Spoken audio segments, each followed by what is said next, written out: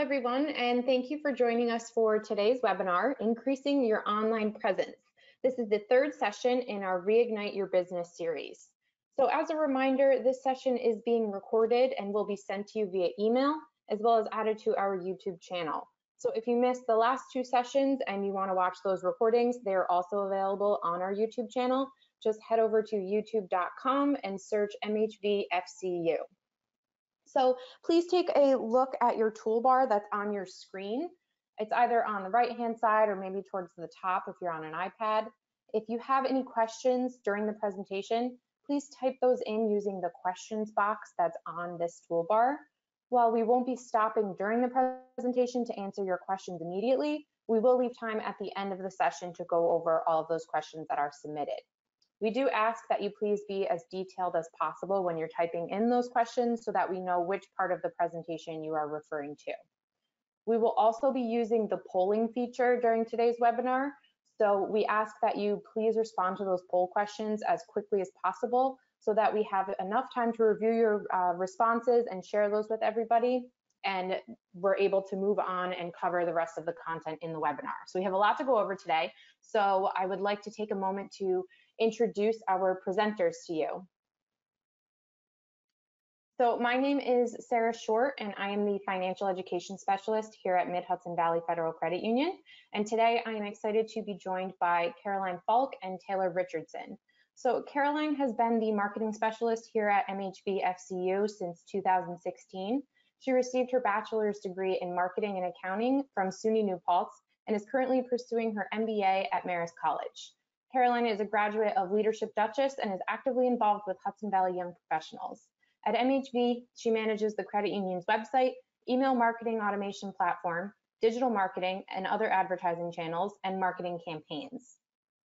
Taylor Richardson with EMS Consulting has been a digital marketer for the past 10 years and brings expertise in all things Google search engine, website and organic strategy, paid search engine, marketing advertising, and analytics. She's based out of Austin, Texas, so she apologizes in advance if she lets a y'all or two slip during the presentation. So thank you ladies for being here with us today. Awesome. Thank you for having us. Yes, thanks for having me. All right, so I'm going to kick it off now. Um, here's a quick agenda of what we'll be covering. We're going over a few different areas to help increase your online presence to appeal to Google and your customers. First, we're going to look at how to audit your website, get a general idea of improvements you can make. Next, Taylor's going to talk about what appeals to Google, what matters most to Google, so you can update your website to match this. Then we're going to go over Google My Business, why it's important to keep your listings updated and how to do it. Lastly, we'll go over reviews, how to develop a review strategy, start getting them to help with your Google online Google ranking and online presence. So we're going to jump right in and start with a poll. So when was the last time you made a significant update to your website? I'm not talking about changing the hours because of COVID. I'm talking about the actual meat of your website. Was it last week, six months ago, a year ago, or maybe over a year ago? So use a little toolbar on the side and select your answers. I'll give you a few seconds. Okay, any last minute responses? All right, I'm gonna close the poll and I'm gonna share the results.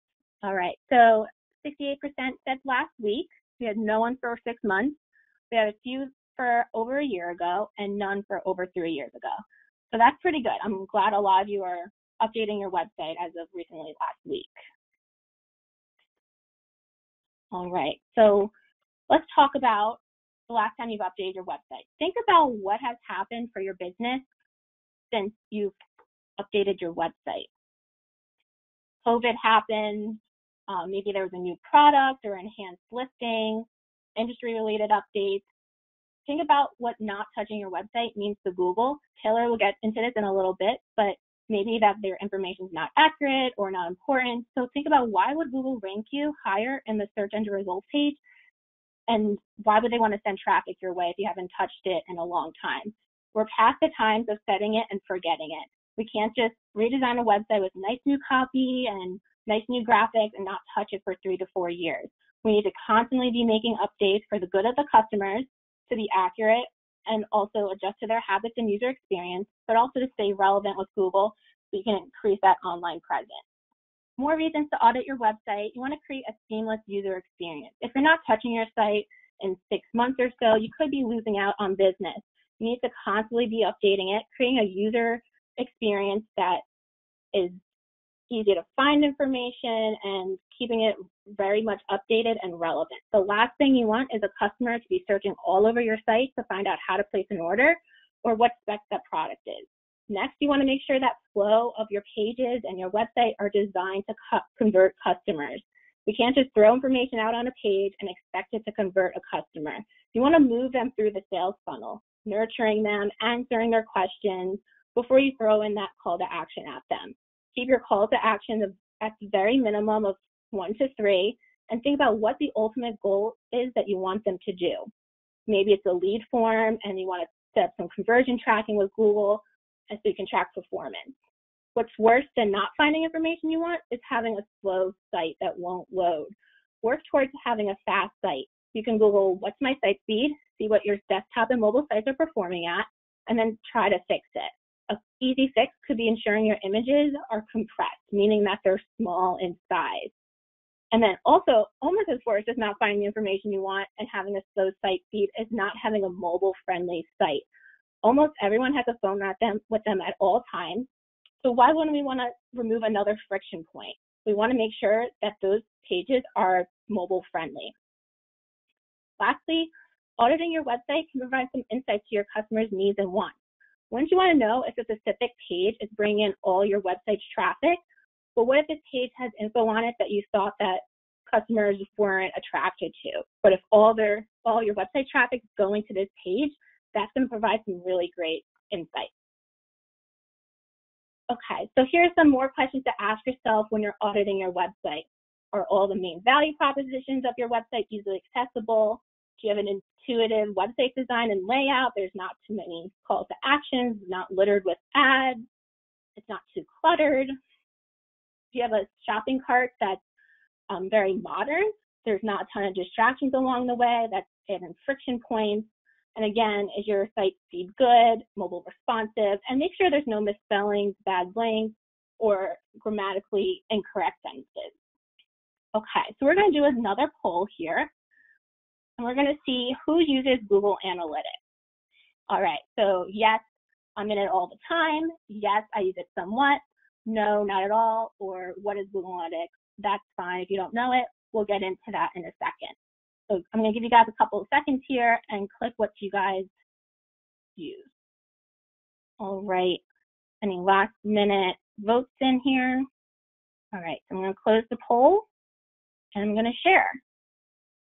So yes, a majority of you guys use it somewhat, and some don't know what it is. All right, so let's talk about Google Analytics. So you know the importance of updating and auditing your website. So now you need to go Google Analytics. So if you don't have one or and you're not familiar with it, Google Analytics has great training on the platform and it will walk you through how to set up goals and tell you what to look at. But we're going to talk about three areas that is recommended for you guys to start auditing your website. First, you're going to look for pages with high traffic. Look at your high traffic in the past three months, six months, the past month, and you can find this under the behavior tab. Make sure that these pages with a high traffic are in tip-top shape. These are where your customers are going. So what improvements can you make here? Is the content accurate? Next, the same area under the behavior tab, we're going to look at the high bounce rate pages in the past month, three months, six months. Again, high bounce rate means that they're leaving your site. They're not going from one page to another on your site, they're leaving. So what could be some reasons that they're leaving your site? What improvements can you make on this page? We talk about nurturing the customer, answering their questions, having a clear call to action. So those are some great starting points to make sure that you're following. Once you make some of these updates, continue to monitor the pages for the bounce rate to make sure that you're improving that bounce rate. Lastly, take a look at how you're acquiring your customers. If you, you can find this under the acquisition tab. Maybe it's all social traffic, or maybe it's organic, or referral, or direct. Look at how you're acquiring customers so you can understand them and understand the mindset they're in. If all your traffic is coming from ads, maybe you want to tailor your pages to be more towards the purchase phase of the sales funnel. Because if someone's clicking on an ad, they're further along, they've done their research and everything. So you want to tailor the content for that. But if the majority is coming from organic, you want to make sure you have more education, awareness, and you're nurturing them. Um, another great thing is to set up some user testing. User testing helps fill the gap between you and the customer. The lingo you may use may not be how the customer refers to something, or something that seems easy and straightforward may not be the case to the customer. So you want to identify pages that are most important or need improvement. Use the feedback to better understand them. How do they move through the sales funnel your website? And then start making some improvements. You can gain a lot of insight by having users test your site or maybe in just specific pages. And two ways you can accomplish this are listed here. So maybe you want to ask some customers that come into your store often and then give them a gift card in exchange for asking to do some simple task like um, maybe tell them to find X, Y, Z and see how they get there and let them tell you how they get there. Or there's paid sites like Try My UI that will find testers walk you through the process of setting up questions and tasks, and then you just wait for the responses to come in, and at your own time, you can read through the responses and watch the videos. So before I turn over to Taylor for a little bit, here's some things I want you guys to remember. We can't set it and forget it. Most of you guys are making updates weekly, which is great, but there are some that weren't doing that as frequently. We want to keep the user front and center. Make that process seamless and easy be checking your Google Analytics account regularly, and then start trying to test some of your pages and gain a lot of those insights. All right, so I'm going to pass it over to Taylor, and she's going to talk all things Google. Thanks, Caroline. Great. Um, so, um, great introduction here, Caroline. So I think I think what we have really um, made very clear is obviously the website plays an important role in um, generating revenue for your business. Um, what I want to do for a second is kind of take a step back and um, pull ourselves a little bit out of our headspace as business owners and actually put ourselves in the headspace of a consumer um, because I think um, what is important to remember about Google is that Google their main function as a search engine i mean google is many many things right now right? They have cloud services they um, they have significantly grown over time.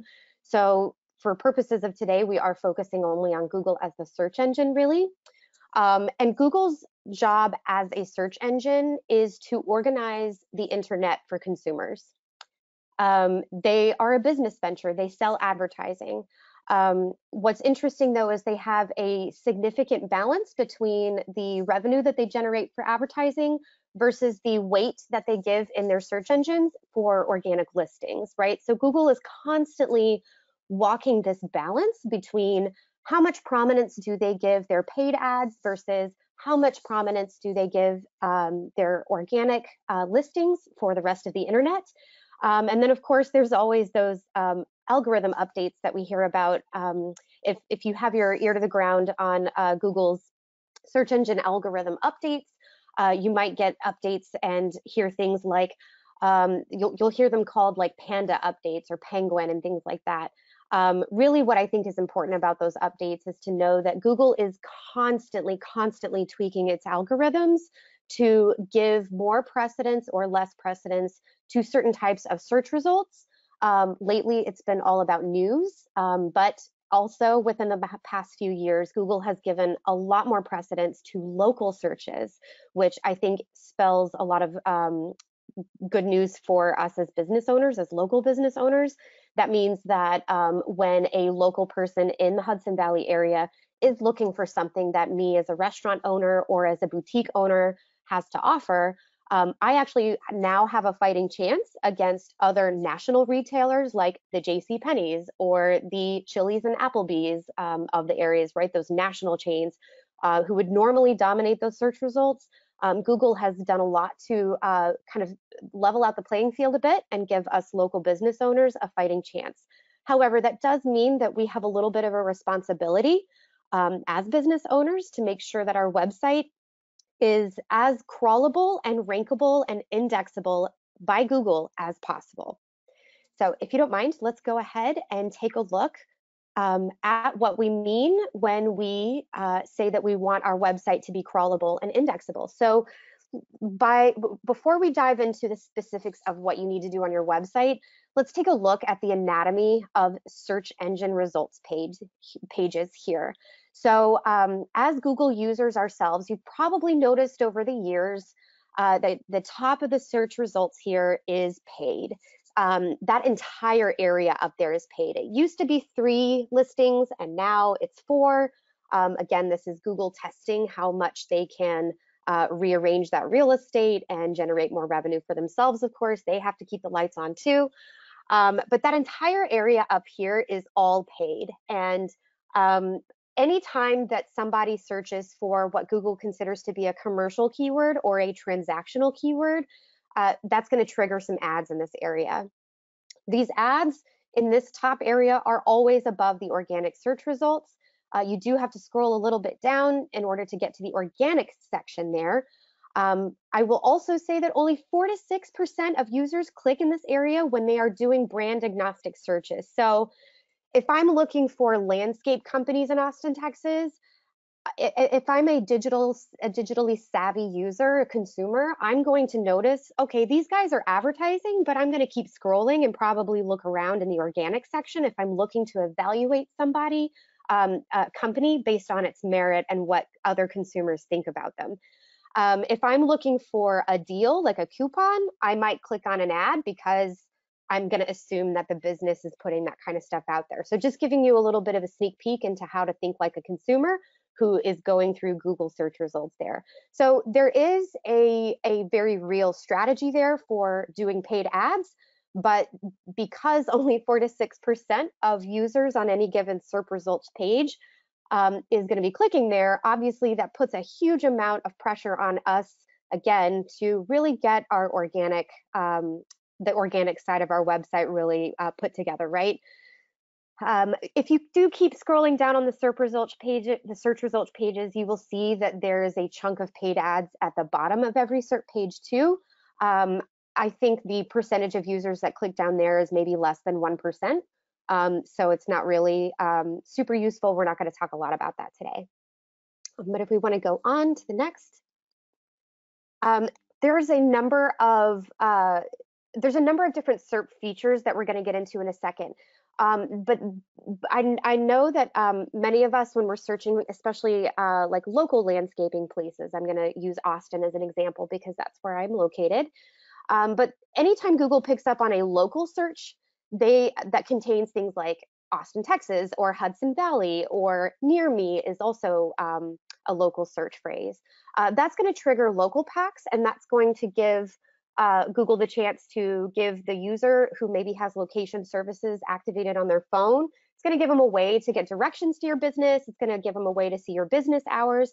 Caroline's actually going to talk a little bit here in, um, after this section on your Google My Business listings and why it's so important to keep this information updated. As you can see here, Google relies on it to be able to get people to your front door if, um, if that is what your goal is.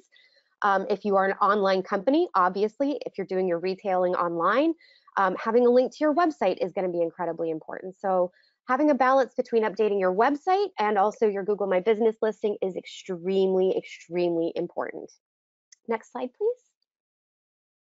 Other ways that you can opt, uh, optimize your website, um, if you are, let's say, in the landscaping business, um, you might be thinking, sure, I need to have some uh, product pages that talk about the landscaping services that I offer, right? Um, or if I'm a restaurant, maybe I need to have all of my menus, right, organized in some form or fashion. All of that is very true. But I want you to also think about um, a little bit outside of your immediate offerings and recognize that Google, in its effort to organize the internet, is do is looking for a lot more than just words and products to sell people. Uh, they're looking for answers to questions, right? Like in the landscaping results here. Um, which grass seed is best. If I'm a if I'm a homeowner in the Austin, Texas area and I'm dealing with brown patches in my yard, I'm not going to Google landscaping companies. I'm maybe going to try to do it myself first, right? So I might do some research around grass and seeing if I can do it myself. However, if I start to notice that the same awesome landscaping company keeps giving me great answers and great information, and also they're, they're, they're answering my questions, they're informing me, um, and they're giving me um, a 10% off offer on my first order of grass seeds from them alongside that article, well, heck, that, that saves me as a consumer a lot of time. I'm gonna probably end my research at that point and just go ahead and buy this, this nice person's grass that they're gonna sell me because you know what, they've earned my trust. They've been answering my questions this whole time that I've been researching. So that's a sneak peek at how content starts to play a role in a consumer's research process and can really start to um, to actually generate indirect revenue, right? Um, this also feeds the beast that is Google. If you're giving them answers to questions that people are asking all over Google, sure, not all of those people are going to be your consumers and your buyers, but Google sure is going to start to really love your website if you are consistently answering um, questions that are that people are asking Google, right? So it's it's thinking about the role that your website plays in Google's large scale effort to try to organize the internet and answer people's questions. So if you want to keep going, um, we can actually click through the next few slides here. There's um, videos, obviously, Google loves to show up videos. So if your business is the type that it makes sense, even to do a, just a couple minute video, they don't have to be overly produced like this Home Depot one.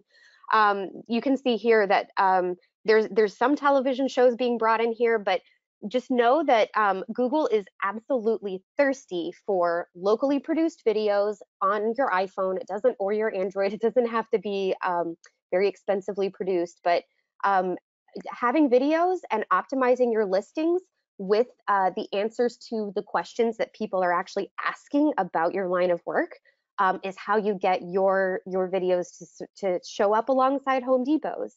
Um, you can also optimize your listings uh, you can put video transcripts in the actual YouTube listing, and that is going to help the search engine actually recognize what the video topic is about.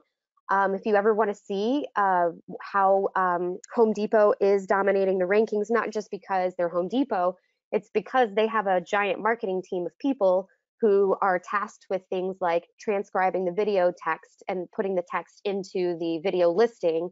You as a business owner, you know what you said in that video. That that maybe takes you an extra 30 minutes while you're drinking your morning coffee. So um, you could do that to your video listing too. Get that up on YouTube and um, and start garnering some traffic that way as well. So next slide. So there's others. Um, we're going to click through the next couple if you don't mind. Um, any imagery that you put on your website um, becomes eligible for Google to rank. So again, um, thinking about your business line, depending on what you um, offer. Let's pause here actually.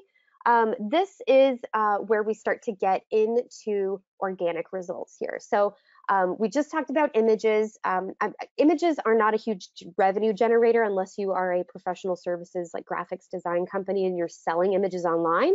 Um, so I'm not going to talk a lot about, about a lot about those. But I did want to pause here because I know as local business owners, we fight a lot uh, for local organic real estate with Angie's List and maybe Houzz.com or Thumbtack, especially if we're in professional services. Um, if we're a restaurant, we might be fighting with those menu aggregator companies that want to charge us a fee to get our stuff listed with them. So I want to pause real quick and talk about those because unfortunately, uh, they have had a leg up on us for a while. They've been playing the SEO game for a very long time. So sometimes it might make sense, depending on the price, as long as they're not unreasonable, it might make sense to actually suck it up and do a listing with them. Uh, because Etsy is doing the same thing to the creative space and to creative artists also.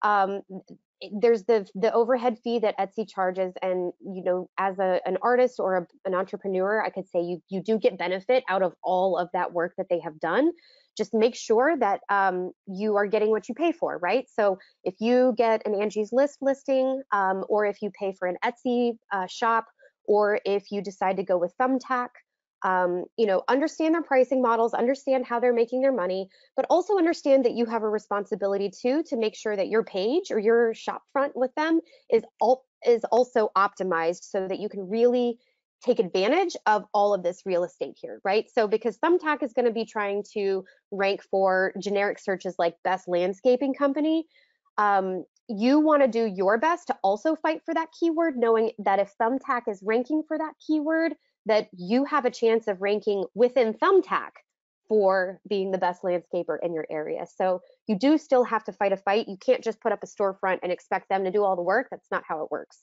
Um, you also still have to do the work. You're just basically paying for um, you know, some of that page one real estate and then hoping that somebody has had good experience with Thumbtack before, for instance, they might click there and um, and find you there. So that's the strategy there.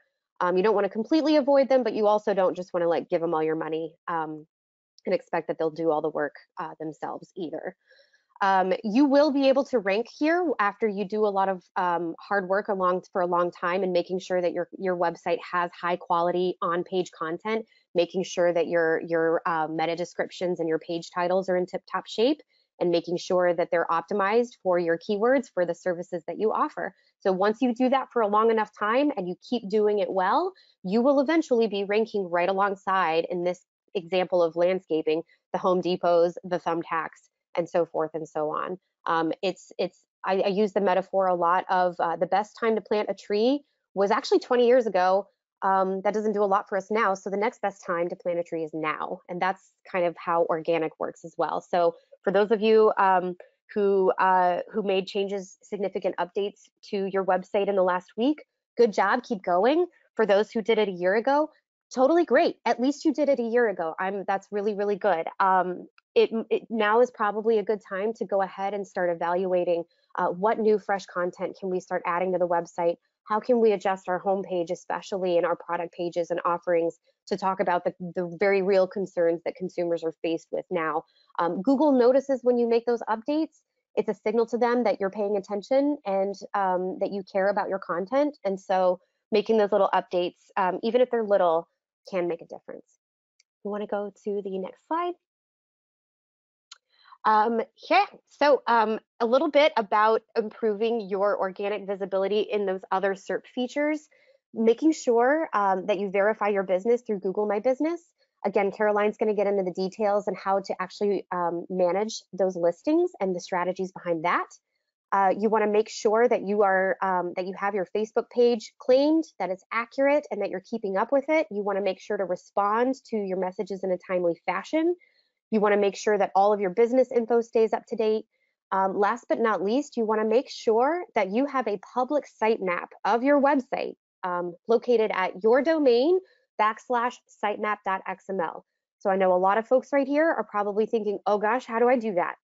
There's a huge chance that if you are using a plugin based content management system like WordPress or Squarespace or Wix um, a lot of those have plugins or have functionality inherently built in that actually put up a sitemap for you. Um, if you're curious about that, do, a, do, you can load a help desk ticket probably with them if you have support access with them. Um, you could also just try going to your website backslash sitemap.xml uh, to see if if a sitemap shows up, then you are good to go. If it doesn't show up, um, then you might want to get on with support and do a little bit of Googling yourself to see if your particular plugin or theme or CMS is what we call those content management systems um, that your website is built on. You want to see how they handle the sitemap there. So put that on your to-do list for sure. Just do a little reconnaissance work and see, do you have a sitemap or not? And if not, how do you get one? Um, if you have a WordPress site, I can speak from personal experience that Rank Math is a free SEO plugin that will put up a sitemap for you. All right, next slide. Again, so this is uh, a little bit about those uh, content management systems here. Again, you'll get a copy of this uh, web of this PowerPoint, um, so you'll be able to to really pour back through this um, beware that, that overburdening your um, CMS with a bunch of plugins can cause the site to be slow. So just as Caroline was mentioning, we want to always keep an eye out on that. If you have any plugins that you're not using, get rid of them. Uh, you can uninstall them through WordPress or through Squarespace uh, or whichever CMS you're using.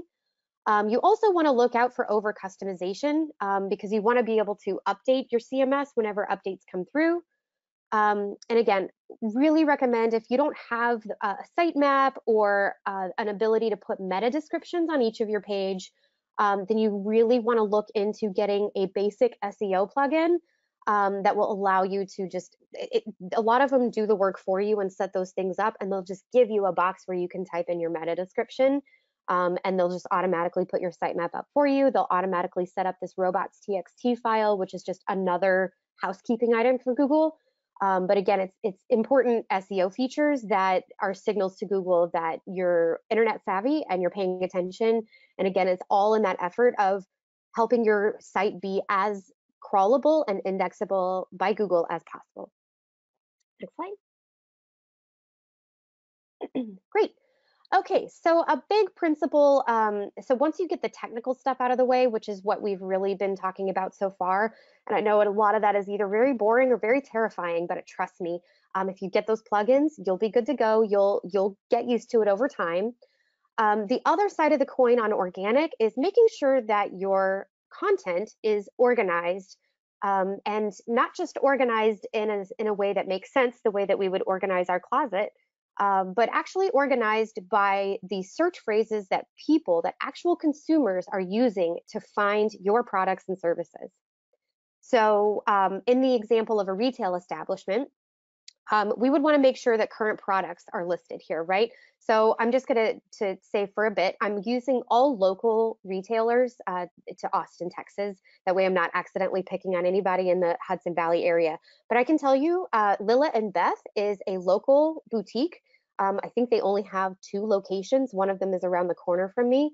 Um, as soon as COVID happened, they switched to an online ordering and, and in-store pickup format. So they went from being just a brick and mortar storefront with a basic website with their store hours and um, you know just a little bit about them and maybe a blog to full on having their products insert like they went full e-commerce. Even though they are not normally an e-commerce site they still recognize that during covid times people are using google to get answers to things for businesses that are around the corner. It used to be we could just jump out and walk to the to the to that store and ask or pick up the phone and call and there was a person sitting there that would answer. It's different now. People want to go on Google um, even for stuff that's right around the corner from them. So that does put a little bit of pressure on us as local business owners to again start really looking at and evaluating how do we act more like an e-commerce site. Um, I want to also mention before we go to the next slide that investing in a good search bar, so again, evaluating, testing out your search bar on your site. See if you type in, um, you know, uh, 4th of July dresses, for instance.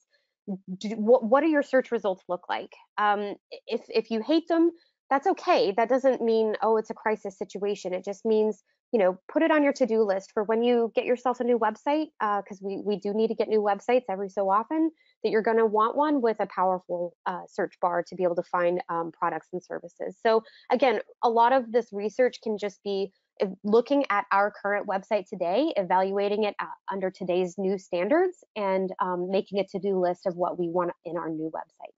Let's go on to the next slide. Um, so again, um, I'm going to go quickly through these. So organizing the website content by search phrase. So if you're a professional services provider, um, you're going to want to make sure that all of your uh, offerings each have their own page dedicated to that product and service so that each page has a fighting chance of ranking for that. So if you do commercial landscaping, you need a commercial landscaping page just like you need a regular uh, consumer real estate landscaping regular design page and installation, right? All right, next slide. Um, this is an example of how you might organize your website from a uh, an architecture standpoint, right? So this might also reflect how your drop-down menu looks. They don't necessarily have to be the same, but essentially underneath your homepage here, you want to dedicate at least a, a section of your website to your product listings and have each of your individual products on their own page stemming off of that full product listing page.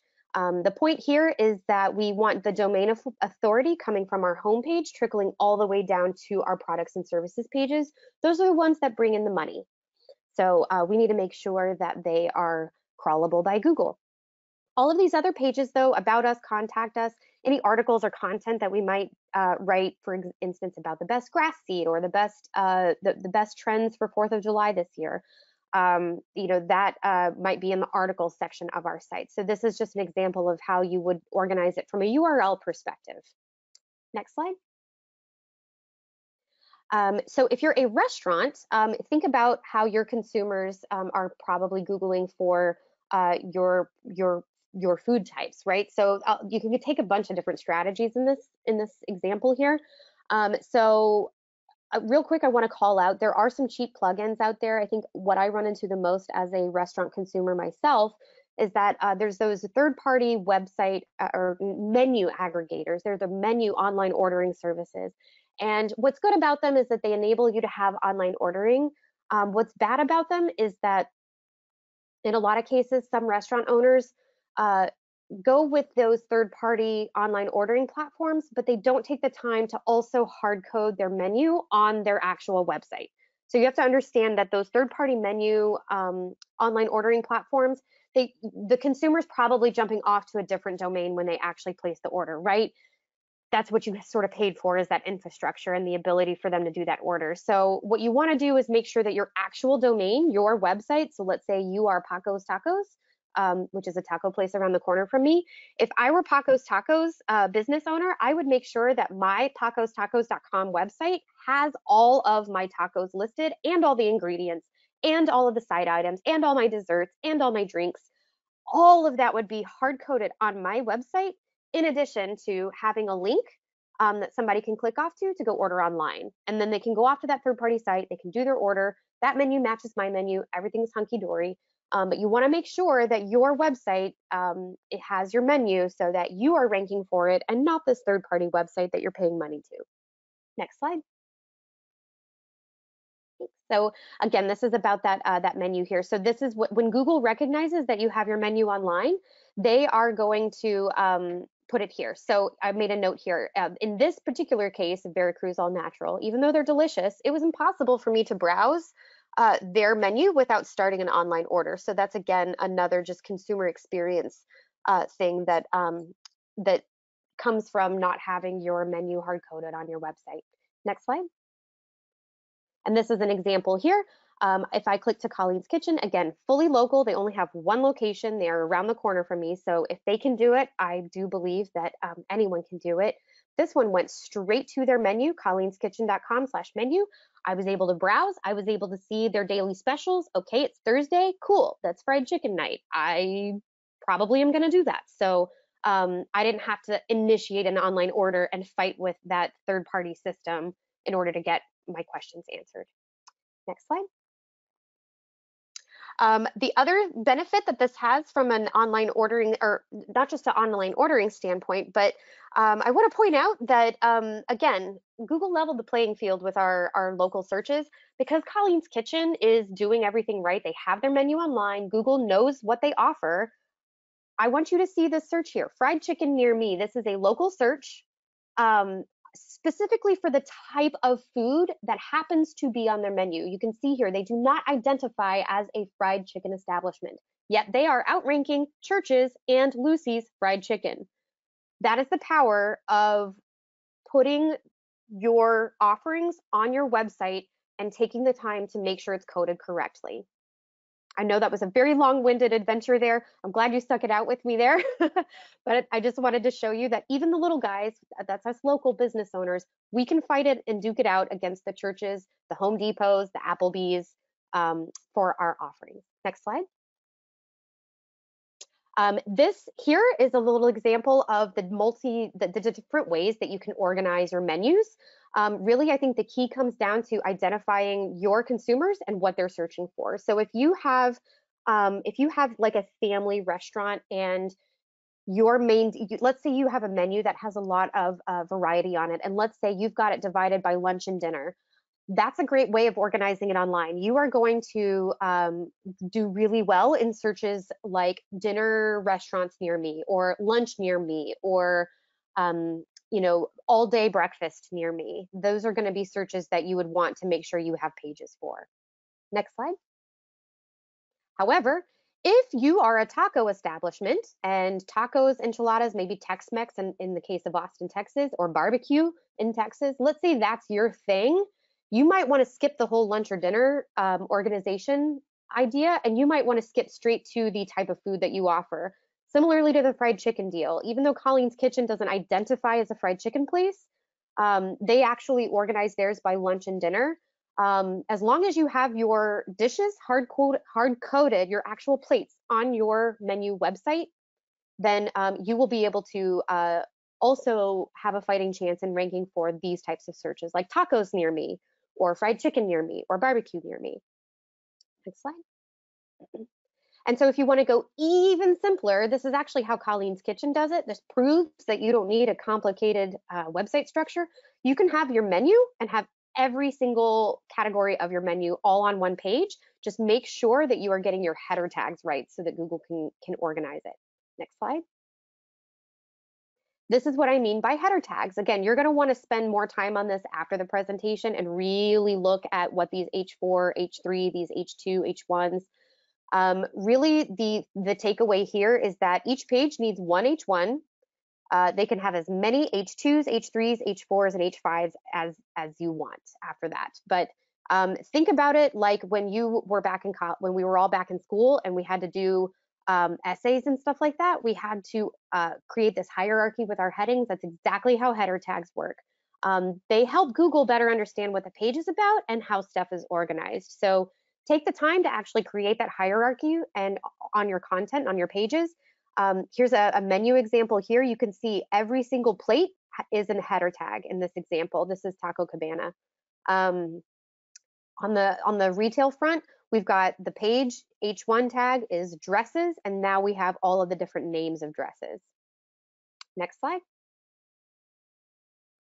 So ensuring your meta and titles are unique across all of your pages um, everything that we just said before, you want to make sure that um, when you're organizing your content, you're not creating three pages that are all called dresses. You want all of your dresses on one page. Same thing, you don't want three different pages called menu. You want one menu divided up into logical uh, sections here. Um, your meta descriptions are important because they match uh, the keyword phrase that somebody is typing in Google's going to bold those keywords. Google is also going to display your meta description here in gray. So it kind of is the first impression somebody gets when they are evaluating your page. Next slide. Um, URL structure uh, should be human readable and should reflect what is actually on the page. Um, you want to make sure that your SEO plugin is going to properly 301 redirect um, any pages that you are trying to delete. Um, this is again, just let your plugin take care of this. This is a technical thing. Um, it's the importance again of having a plugin though. Next slide. And then last but not least, this is the role back what we were saying before about those SERP features. So it once you've done all the heavy work and hard coding your menu and your offerings, um, you can also go back through and do alt tags on your images. So um, now I'm not going to say that this image of a burrito is probably not making Taco Cabana a ton of money.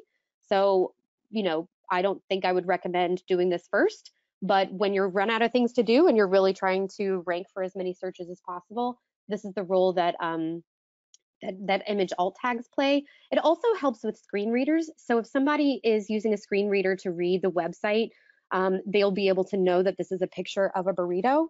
Um, and that actually helps us from a uh, an accessibility standpoint. It's very nice. And so those, I know that's a lot. Um, I, my expectation there is that you'll be able to uh, chew on these slides a lot more um, and use them to work through and make improvements to your website. But as long as you follow the goal of, of making your products and services um, as visible and organized and crawlable on your website as possible, um, then you are um, well on your way to being more Google accessible. And then back to you, Caroline. Awesome. Thanks, Taylor. All right, so now we're going to talk about Google My Business listing and reviews. We're going to start off with another poll. Um, we're going to see who uses Google My Business already. All right, so I'm going to launch the poll. Yes, you have it set up but haven't used it. Yes, you have it set up and you update it off often. No, you don't use it or you don't know what Google My Business is but we'll get into that. So take a couple seconds and answer the poll on your toolbar. All right. Okay, I'm going to close the poll and show the results. So it looks like most of you don't use it at all, and there are some that have it set up but haven't used it. Both of those are fine. We're going to go over um, all this right now. Okay, so why use Google My Business? So how many times during COVID have you searched for a service and wondered if those hours listed on Google were even correct? It's so important to have your name, address, phone number, the website URL, and hours always up to date with your Google My Business listings. Consider it losing business if you have this information out there and it's inaccurate. How much time will the consumer put in to search across the web to find this real information? And maybe they don't even want to go to your website to find this information. They want it right from Google. They want it easily accessible. And so that's why Google created Google My Business. I know it personally frustrates me when I can't call a business right from the Google listing or the website's not there for me to click. So this is exactly why we need to keep this information updated. So yeah, so number one, manage the information. You can easily add, update, and easily change things on the go. You can interact with your customers, so you can do posts just like social media, and you can add pictures or offers. Plus, they have a messaging feature if you want to turn that on and create some interactions that way. You can also respond to reviews. And then the last part is why it's so important is that voice searches are using Google My Business information and the ratings to then deliver the results to your Alexa or your Google Home. Um, you can understand and expand your presence with their analytics. So you can see how many clicks, calls, bookings, directions, all the different ways the consumer engaged with your Google My Business listing, you can gain a lot of insight. And then lastly, it's free. So of course, why do I want to use it if it's free? So the only requirement is that you must have a face-to-face interaction with customers. So meaning you're not 100% online. So this is just an example. We've seen a lot with Taylor, um, what they kind of look like. So I'm just going to skip through this one. And then here, um, so if you don't have a Google My Business already, the green is where you're going to start. So you're going to go enter some basic information. Um, then you're going to go and verify your business.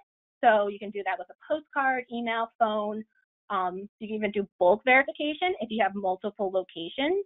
Um, at MHV, we have multiple and we only have one phone number. So we had to go the postcard route and that sent it to each of our branches and then we verified that way. So you're going to want to pick the option that makes most sense to you. But once you're verified, you can continue building your profile and you want to add as much information as you can. And we'll get into that in a real quick second. But I just want to also note that they have an app. So you can make updates in the app, post statuses, see the insight, respond to reviews, get those notifications that a review came in. Um, you can do a lot. And of course, you want to do number four and five, periodically checking to make sure this information is accurate.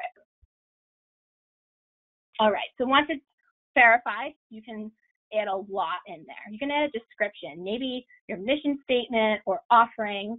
You can also add attributes. So maybe you have free Wi-Fi, takeout, you accept reservations. Um, you can add a profile picture. So maybe it's your company's logo or a storefront if you have multiple locations. Um, you can do cover photos. So this is very important as this shows up front and center for your listing. So maybe your business has something identifiable or something cool to showcase maybe a display inside or an employee in front of the building. Um, think about what you want for your cover photo as that front and center piece. Um, you can also add additional photos. This is very much recommended. You can add exterior shots, interior shots. Google recommends a minimum of three exterior and three interior. You can also post photos of your product or menu items, employees working, different rooms inside your business, like a lounge, um, and even do a video. It's recommended 30 seconds or less of a video that's going to add some value. Maybe you're walking through your store and showcasing what it looks like with some music, or maybe it's employees working, or maybe you're just talking about your core values. Yeah, it's annoying to film video, but think about it from the customer's perspective. You're adding value and you're doing more than your competitors, which will make you stand out. Um, so these are just different posts. So I said they're, it's like social media. So you can post photos, messages, and offers for the public to see. So when someone's Googling for an Italian restaurant near me, they'll see your business info, like your hours and your website, but they'll also see your posts with your photos. Or maybe you have an offer for a family dinner package. This is another area to reach your customers and provide value. Businesses that post regularly with photos get 35% more clicks to their website and have 42% higher requests for driving directions. So think about it. When you're looking for an Italian restaurant again, You want to see what the outside of the building looks like so you can identify it while driving. Maybe you want to see some pictures of the food. So these are all different ways that you can utilize the post feature. There's a bunch of different ways you can get insight to see how engaged your customers are. If you already, already have a profile set up, it'll be good to see where you are right now and then make all these improvements and then see how much more you're um, increasing your performance. So you have clicks, the follows, the photo views, you can see a lot. Optimizing your profile will not only help your customer find you better, but it's going to increase that online presence, going to help with the Google ranking, and ultimately help with revenue. So there's not just Google My Business, there's tons of other listing sites. Here are just some uh, logos of a few, but there's probably pages out there for your business and you don't even have um, a clue about it or you're not managing it. You need to make sure you're updating these sites with your accurate information. Um, you can go and ask Alexa or Google Home, ask them a simple question about your business, and then see did it deliver the right answer. And then the information may be right on Google My Business, but one of these different sites is pulling wrong information, and so Google's saying Google My Google Home is saying a different answer. There's a lot, and it can be a lot of work, but take it one day at a time, one platform at a time, or you could seek some paid help from Moz Local or Semrush or Yext. Um, they can even help because people can suggest an edit, and then that will change your answer. So that's why you want to always be checking on it. But these platforms, they have some technology that will help to lock those um, information that you enter in so people cannot suggest an edit. All right, we're going to do another poll. I promise this is the last poll. Um, we're going to ask about the review strategy. So who has a review strategy? Yes, no, or you somewhat do. So on the side, take a couple seconds and answer the poll. All right, looks like most of the responses came in. I'm going to close it and share it. So most of you said you somewhat do, and some said you don't, and no one said quite a definite yes. So let's talk about reviews. I'm going to share some stats here. They're very powerful. So 86% of people will hesitate to use a business that has negative online reviews. 90% of consumers will read online reviews before visiting a business. Another 90% of customers said that their buying decisions are influenced by online reviews. 88% of consumers trust online reviews as much as a personal recommendation. And then lastly, 85% of consumers don't trust reviews that are more than three months old. A bit shocking, right? But all this is true. Think about yourself. I know I read reviews before trying a new restaurant or a hair salon.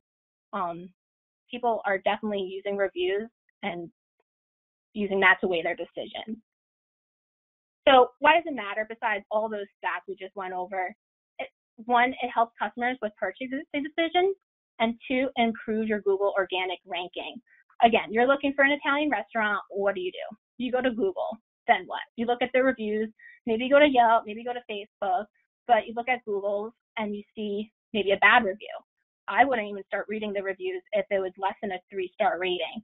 I'll take a look at the highest rating restaurant first, start reading the most recent reviews, if there hasn't been any reviews in the past year, I would even move on to the next restaurant. Google takes into account the recent reviews and the good quality reviews when they're ranking your website on the search engine results page. But also, even more important, customers want to see high ratings and those recent reviews. To Google and even to the customer, having very few reviews and even reviews being over six months old can be as bad as having no reviews even if you have a five star rating, it's not enough to have 10 five star reviews that are over a year old. So we need to continuously be asking and for reviews and staying current and fresh. So how often should you be getting reviews? It's recommended of one a month. That's not bad at all. And then if you get a negative review or if your score falls below a 4.0, you want to start asking more for reviews, getting some more good ones in there because you don't want that one star review out there anyways um, for, the, for that person to see. So you want to kind of cover it up a bit, but also increase your score. So one a month, and then if it's you get a bad one or falls below, increase that goal. but how do you get reviews, right? So 68% of consumers will leave a review if asked. So we need to start asking. So you want to ask after positive moments, like if they had success with your product or they made a purchase, or maybe they even referred a customer to you, that's a great moment. You want to ask two to three times because people are busy or they forget, and then keep that within five to seven day time frame after that transaction's taken place. So no more than seven because then it's old news. If you ask more than three, you're kind of hounding them. So this is the sweet spot here. These are some sample talking points for your employees to ask the customers. I'm just going to skip right over this so you guys can come back later on and read through them. Here's some other gathering ideas. So if you have new employees, make it part of your onboarding process with them to discuss why reviews are important and how to ask for them. Maybe you're emailing with a customer, so you want to email them back and say, hey, thanks for contacting us today. Can you leave us a review? You want to highlight them on social media. Say, this, this location got a five-star review from so-and-so. Leave us a review too. This is great. This is awesome feedback. You can make handouts and put instructions on it because not everyone's familiar with leaving reviews, even on Google. And then even adding to your email signature is an easy place for people to see it when if you're emailing back and forth. All right, so now you got reviews, then what? You need to respond to all positive and negative reviews in a timely manner. So you want to set up those email and those app alerts to get notified when a new one comes in. If they're positive, you want to thank them for their time because they took time out to leave you a review. So be sure to thank them. Acknowledge what they enjoyed and liked. Maybe suggest another product for next time. Be personal in your message. Don't just copy and paste the same thing you posted on another review. You're going to sound like a robot, and people are going to notice that if they're looking through all your reviews and you're posting the same thing back to people. Then be sure to share them with staff and maybe even tell tell them in your response in the positive review that you're going to share it with staff. People like to see that. If it's a negative review, it's important to address address the negative reviews and show that you acknowledge it and try to resolve the concern. So make it a top priority to respond within a few hours or within a day. Don't be defensive. Even if you're not in the wrong, you're going to look bad to the public because that's public um, responses there. So apologize, acknowledge their concerns, and try to move it offline. The last thing you want is to go back and forth with a consumer that's not happy. You may even get them to change your rating if you've resolved their issues offline. So that would be a great result. I've seen it time and time again. And of course, share with your staff for encouragement, acknowledgement. A lot of reviews, they'll list, oh, so and so is so great at this branch location. They're the best. I always go to them. And if you share it with all your staff, they're going to want to start getting reviews that mention their name. So it's a hit a little bit of competition, and that'll be great. So here is a review. It's quite long, but it's not all reviews need to be this long to be impactful. But here, this is from MHV's Hurley Avenue branch, and he listed how long he's been a customer, what we do well, the staff he loves. He likes that we have a personal touch, and he said he was going to return. Then we responded very personal, even with a hashtag, referred to his name, acknowledged and thanked him for what he said, and we said we would pass it on. So again, they don't all need to be this long, but this is just an example of a strong review that I'm sure if a potential customer saw, they'd be persuaded. And then here's some shorter ones, a five-star rating with no comment. We still responded because people are going to see that. And then the five-star just has a brief um, message there, and again, we responded. Um, here's a negative one. It's out there. We're not hiding it. It's public. So here we apologized and explained what we tried to do with every experience. And then we said we're going to send it back to our management and try to improve what we did. So before we wrap it up here, these are some things to remember. So reviews are important because it helps the customer with the purchasing decisions and it helps with Google. 68% consumers will review if asked, so we've got to start asking. Ask two to three times within five to seven days, and be sure to respond to all reviews in a timely manner. And don't forget to send it out to your staff for encouragement and acknowledgement. All right, so I hope this presentation provides some value to you guys. Um, I'm going to turn it over to Sarah for some Q&A. Yes, thank you. If uh, anyone has any questions, please submit this, submit them at this time, and we'll go over those in just a moment. Please also mark your calendars to join us for our next and final session on developing a new marketing plan. That's next Thursday, July 9th at 11, and it's presented by Mary Claire Cranston, who is an MHV content specialist. So again, submit your questions if you have any right now. Okay, so it doesn't look like we have any questions. Uh, if everyone can please, as they're leaving today's webinar, submit uh, a survey. It'll pop up on your screen as soon as you close out of the webinar. We value your input and your feedback, and we use that to help us to continue to improve our webinars. So thank you to Caroline and Taylor once again for joining us today. Um, and that concludes today's webinar. So thank you once again and have a fantastic day. Thanks, everyone. Thanks, everyone.